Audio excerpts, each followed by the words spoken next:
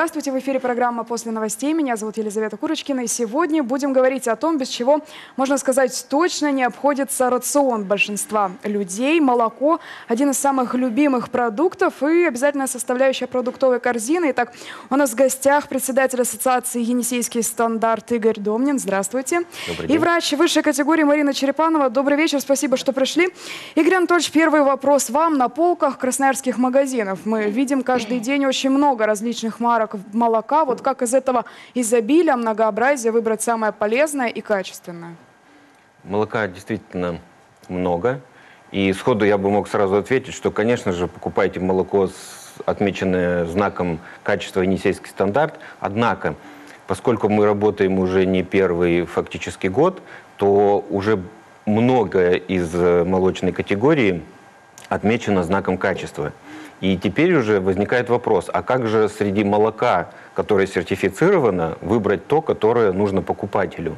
И здесь я бы обратил внимание на такой продукт достаточно новый, хотя при этом давно известный, это молоко цельное. Если говорить о молоке как о ценнейшем продукте, который на сегодняшний день является важным поставщиком там, нутриентов, э, аминокислот, э, витаминов, минералов, то в этом главная ценность молока как продукта, пищевая ценность, биологическая ценность.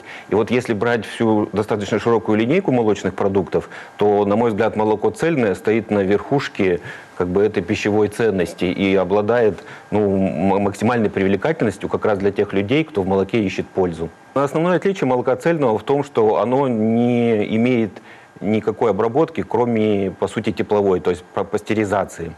Таким образом, э, это молоко максимально натуральное из всех возможных. То есть, получается, чем меньше каких-то манипуляций над продуктом проводят, тем оно лучше, тем оно полезнее и качественнее. Безусловно, все, что ближе к природе, все гораздо привлекательнее. Ну, раз заговорили уже о полезности, Марина, вам вопрос как врачу. Вот э, в чем вообще польза молока в общем и вот цельного в частности?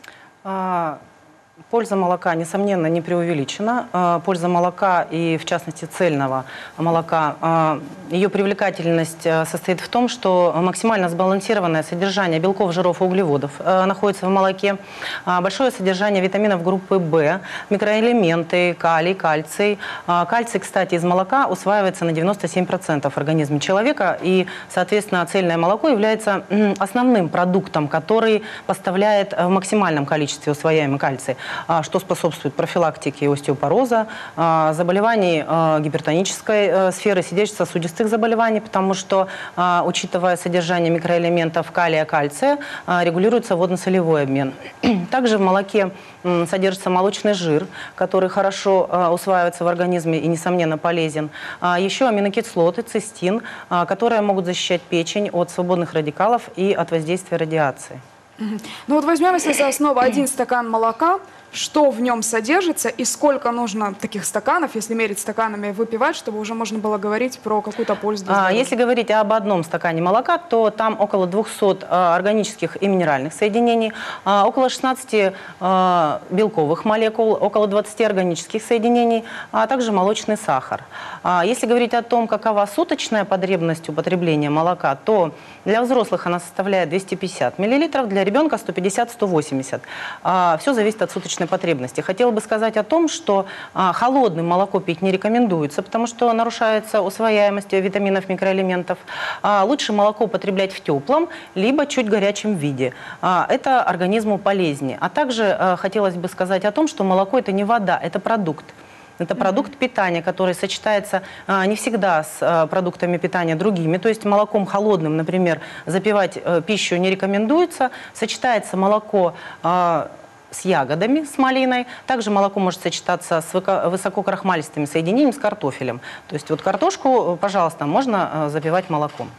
Ну вот я, Игорь Анатольевич, повторюсь, что молока очень много, марок очень много, и, э, ну, все же не все из этих марок представляют цельное молоко. А какие из э, тех товаропроизводителей, которые входят в ассоциацию, представляют цельное, то есть на, э, чьи названия искать, чтобы найти цельное молоко?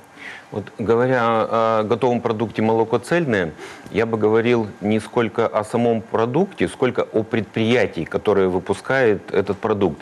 Дело в том, что не секрет, что очень много маркетинговых уловок это вот как раз использование различных таких вот терминов типа молоко отборное. Понятно, что под этим термином подразумевается, что это молоко там отбирали, но непонятно где у кого, по каким критериям.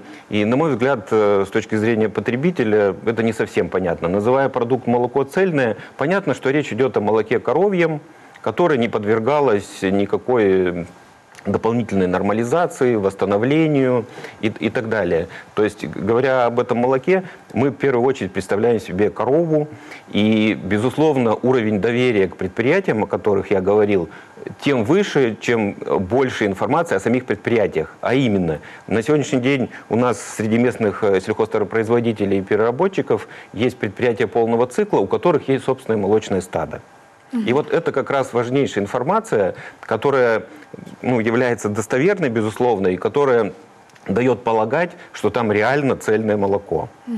Ну вот э, могу привести два таких предприятия, которые находятся неподалеку в Сухобузимском районе. Это э, предприятие «Таежный», торговая марка «Исток», и предприятие, например, «Агроярс», которое выпускает свою продукцию, кстати, молоко цельное, угу. под маркой «Село Родное». А почему важно, чтобы все элементы вот этого огромного цикла производства были сосредоточены в одном месте, или же ну, вот ферма в соседней деревне, допустим?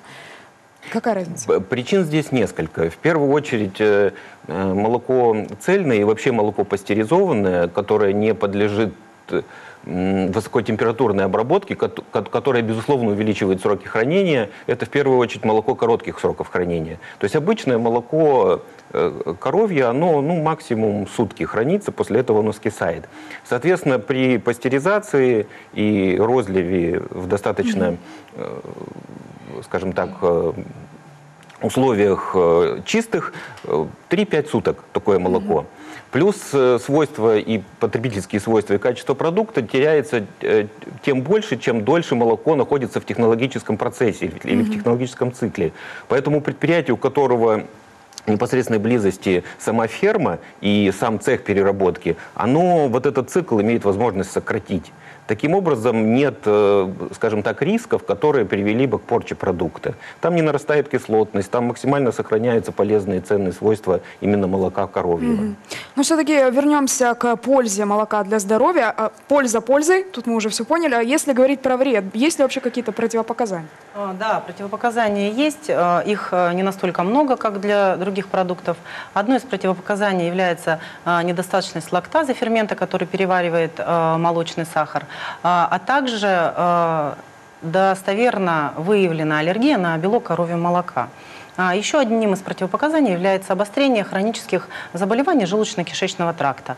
Но выход есть всегда. Для тех, у кого непереносимость лактазы, можно употреблять кисломолочные продукты для того, чтобы mm-hmm. получать пользу. Тоже сметану, кефир? Да. Угу. А почему стоит молоко у местных производителей лучше покупать, нежели даже из соседних областей? Непосредственная близость самого производства к основным рынкам сбыта, то есть к потребителю, Э, дает возможность сократить так называемую логистическую составляющую. Это объективная сторона оправданного выбора. Однако при этом есть и, я уже неоднократно об этом говорил, некие морально-этические аспекты, которых э, все-таки придерживаются сами люди, которые работают на этих предприятиях, фактически те же потребители, которые живут в Красноярске или в районах Красноярского края. И они, по большому счету, производят тот продукт, который потребляют сами, который потребляют их дети, родственники. Поэтому мы уверены и общаясь, безусловно, с нашими предприятиями, чувствуем и знаем, что такая ответственность есть. Угу. И это, на мой взгляд, э, весомый факт для того, чтобы доверять выпускаемой ими продукции. Угу.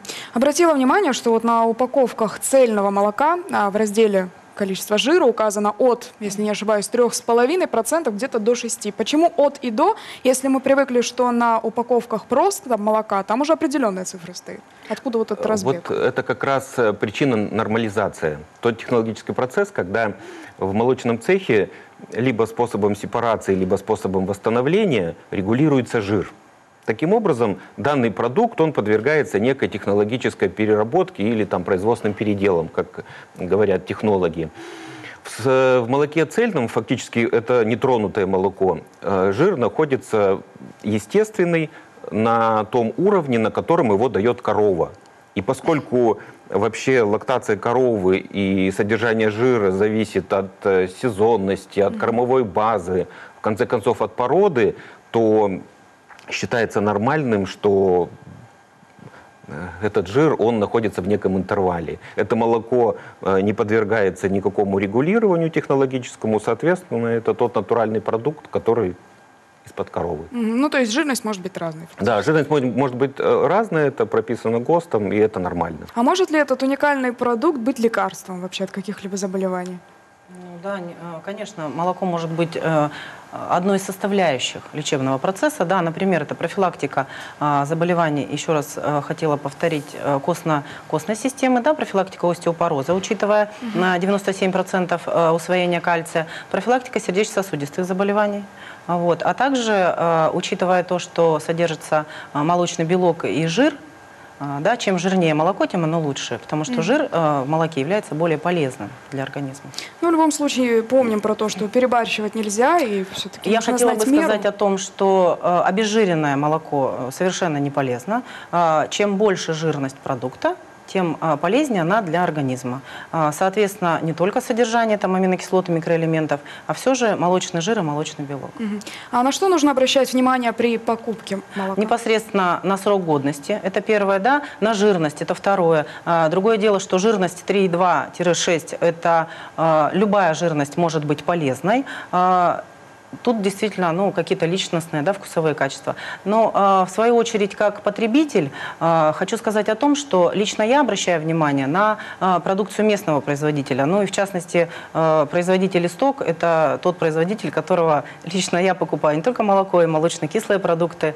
Вот. э, Поэтому, потому что оно местное, потому что оно родное, потому что оно быстро сюда приехало, потому что, э, конечно же, э, впечатляет э, короткий срок годности этого производителя. Это говорит о том, что консервантов там немного, и, естественно, это полезно и, и приятно, э, и э, нужно, скажем так, нашим людям и потребителям, не только. А, давайте еще раз повторим, пожалуйста, про срок годности. Каким он должен быть для цельного молока? Все зависит все-таки от упаковочного формата. И есть молоко различной обработки, ультрапастеризованное, стерилизованное, но у нас в городе Красноярске, в Красноярском крае, молоко цельное представлено э, с короткими сроками хранения, 3-5 суток в мягкой упаковке. Ну что ж, э, я думаю, что наши зрители, которые сейчас смотрят программу, усвоили, что цельное молоко – это то молоко, над которым производится наименьшее количество манипуляций. Я еще раз повторю, хранится оно от 3 до 5 суток. И молоко местного производителя, которое прошло все экспертизы, оно помечено зеленой шишкой. Кстати, результаты экспертиз можете посмотреть на сайте Ассоциации «Енисейский стандарт», а также в социальных сетях. Я еще раз представлю наших гостей. В нашей студии была врач высшей категории Марина Черепанова и председатель Ассоциации «Енисейский стандарт» Игорь Домнин. Спасибо большое, что пришли. Это была программа «После новостей». Увидимся.